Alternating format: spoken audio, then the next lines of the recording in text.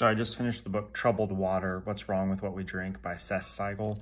And I had noticed recently that our water just tasted weird. I went on a trip and was somewhere else and came back home and was just like, oh man, our water tastes gross. And then was just kind of like, oh, I wonder how that whole drinking water thing works. So I picked this book up. Honestly, this book is terrifying um, and very concerning, but I think it's something that a lot more people should read because there is just a crisis of drinking water and the way that we go about getting it and the technology that we're using being so, so old, like no advancements in any of this technology and so long um, as far as like what's actually bringing the water to people on a day-to-day -day basis. So this was a really interesting book. He gave some recommendations towards the end as to what you could do. Um, I kind of wish they were a little bit more specific, but they were helpful enough that you could move forward and make some changes for your family. So this is one I would definitely recommend. If you think you can stomach it, it's, uh, it's well worth it.